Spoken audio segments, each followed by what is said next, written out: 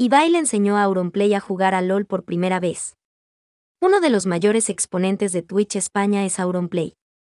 El reconocido youtuber no se imaginó el impacto que tendría al mudarse de la plataforma a Twitch. Actualmente goza con millones de seguidores y miles de espectadores que, casi diariamente, ven sus transmisiones en vivo. El español confesó que siempre se ha mantenido lejos de juegos que te logren enganchar, debido a que es débil contra los vicios. Amigos, estoy en directo. Hoy va a ser un día maravilloso porque Ibai me va a enseñar a jugar al LOL, juego que no tengo ni instalado. Lo voy a instalar ahora mismo.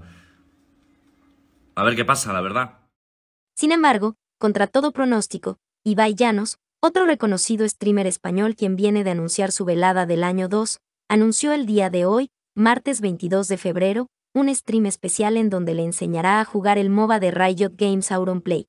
En otras noticias, hoy a las 5 pasará algo histórico.